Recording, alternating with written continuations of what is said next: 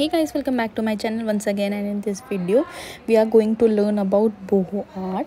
So what boho art is कि हम pastel colour जो होते हैं और जो नॉर्मल मिक्स कलर करके डिफरेंट शेड बनाते हैं उससे जो भी हम पेंटिंग क्रिएट करते हैं कुछ aesthetic C that is set to be a boho art so for this I am just mixing random colours so basically हमारे यहाँ पे टारगेट है रेड uh, और येलो वाइट ब्लैक ये तीन चार बेसिक कलर्स से बनाने का।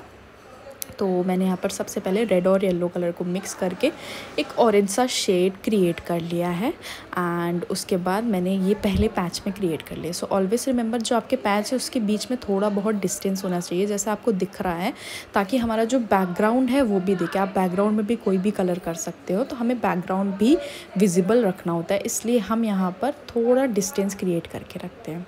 अब मैंने यहाँ पर रेड येलो कलर में ही थोड़ा सा pinch of black colour use किया है जिससे हमारा यहाँ पे एक डार्क ग्रीन कलर का शेड क्रिएट हो गया है।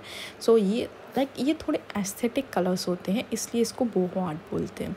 अगर आपको पेस्टल कलर बनाना हो तो आप पेस्टल कलर के लिए कोई भी आ, कलर में वाइट कलर आप अप्लाई कर दोगे तो वो पेस्टल कलर बन जाएगा।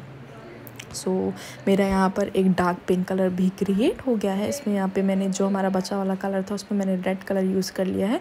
सो so, हमारा एक यहाँ पे ये वाला मरून सा है थोड़ा सा वो कलर भी ऑलरेडी क्रिएट हो चुका है। सो so, इसके बाद जब ये हमारे सारे पैचेस ड्राई हो जाएँगे उसके बाद हम एक आउटलाइन क्रिएट करेंगे पेंसिल की मदद से लीफ का। और क्योंकि हम एज अ बिगनर ही बना रहे हैं उसके बाद पतले वाले ब्रश का यूज़ करके ज़ीरो नंबर के साइज़ का ब्रश यूज़ करके हम बिल्कुल थिन लाइंस क्रिएट करेंगे to make these leaves to colour out these to fill these leaves का जो भी स्पेस बचा है। एंड हम ये पूरी लीव्स में कवर कर देंगे स्टार्टिंग टू एंड तक के। जब हमारा ये पूरा कलर हो जाएगा तो हम इसके बीच की जो डंडी होती है एक लाइन क्रिएट कर देंगे बिल्कुल पतली सी। सो so, सेम uh, आप यहाँ पर एक्रेलिक मार्कर्स भी यूज़ कर सकते हो।